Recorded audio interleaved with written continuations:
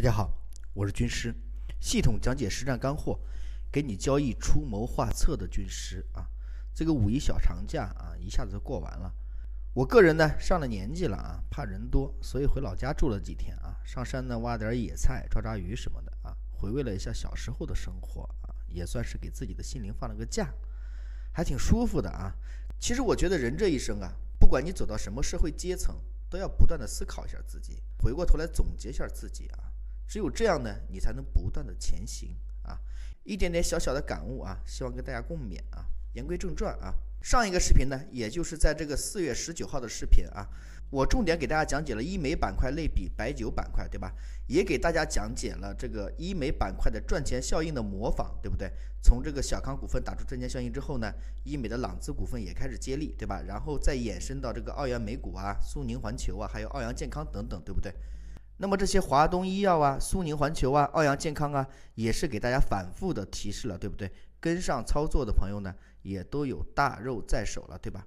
比如说这个华东医药啊，我在四月十四号的复盘笔记里面呢，给大家提到了啊，当时是这么写的啊，无论是风格激进的还是风格稳健的啊，都可以留意这个华东医药啊。随后呢，每天都在提示，对吧？到目前呢，已经有五十个点的利润了，对不对？所以我的复盘笔记呢，大家一定要去看啊！还不知道在哪里看复盘笔记的朋友呢，可以在留言区找一找啊。再比如这个苏宁环球啊，在四月二十八号的时候，我在微头条也给大家说了，对不对？点火了一个医美的小票啊。那么苏宁环球目前是三连板，对不对？再一个呢，就是奥阳健康，在上一个视频，也就是四月十九号啊，我重点讲了奥阳健康的逻辑，对吧？那么低吸到的朋友呢，目前也有六个点的大肉，对吧？所以啊，我给大家讲干货的时候，那是给大家讲一些技术本领；而我在给大家分析盘面和逻辑的时候呢，这里面就很可能有你们想要的致富代码啊。所以啊，我给大家讲课都是有余又有余啊。好，那么今天呢，我就重点回答几个大家最关心的问题啊。这些问题呢，也都是朋友后台给我留言，我整理出来的啊。这里给大家做一个统一的回复啊。第一个呢，就是说华东医药后续该怎么走啊？第二个呢，就是为什么军师在最后一个节假日明确的看好苏宁环球午后的回风啊？第三个呢，就是医美概念后续的机会在什么地方啊？我们先来回答第一个问题啊，就是华东医药后续该怎么操作啊？这个我在复盘笔记里面反复给大家提示过啊，这个医美板块呢，就是类比去年年底的白酒行情啊，而这个华东医药呢，它就可以类比白酒板块里面的老白干酒啊。虽然有很多质疑啊，但是华东医药呢，目前确确实实走成了医美板块中的老白干酒，对不对？那么至于大家关心的这个华东医药的高度问题啊，我们同样可以来类比当初的老白干酒就行了。我们来看一看这一块儿啊。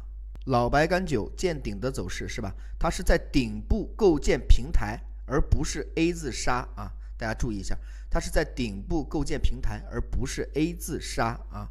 所以很简单，只要我们的华东医药开始在高位构建平台啊，就是我们获利走人的时候。这样说大家是不是很容易理解？对吧？好，那么第二个问题呢，就是为什么军师在最后一个节假日明确看好苏宁环球午后的回风啊？同样啊，也是类比白酒板块啊。当初这个老白干酒启动的时候啊，市场挖掘了连板换手票的金种子酒，对不对？每天都是在换手涨停，对吧？这个截图呢，就是金种子酒啊，它这个位置啊，就是换手涨停三连板，对不对？那我们再看一下苏宁环球啊，这里是不是换手涨停三连板，对不对？那同样会有人问啊，为什么这个澳元美股不是金种子酒啊？这里呢，我告诉大家啊，它是有这个可能性的。但是节前最后一个交易日啊，这个澳元美股呢，它是缩量的啊，所以呢减分了啊。好，下面呢我们来看第三个问题啊，就是医美概念后续的机会在什么地方啊？我个人认为，医美板块后续的机会就在医美叠加其他概念方面啊。这个逻辑呢是一样的啊，也是类比白酒板块后期啊。它就是延伸到了黄酒啊、养生酒啊等各方面的套利机会啊。而从盘面上来看呢，上周五强势首板的这个德展健康，那就是医美加疫苗加碳中和，对吧？这表明资金已经开始挖掘医美的延伸和叠加概念补涨方面了，对不对？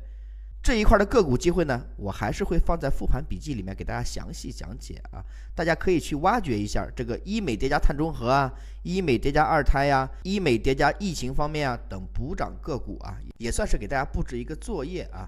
而答案呢，就在我的复盘笔记里面啊。还不知道在哪儿看复盘笔记的朋友呢，可以关注一下留言区啊。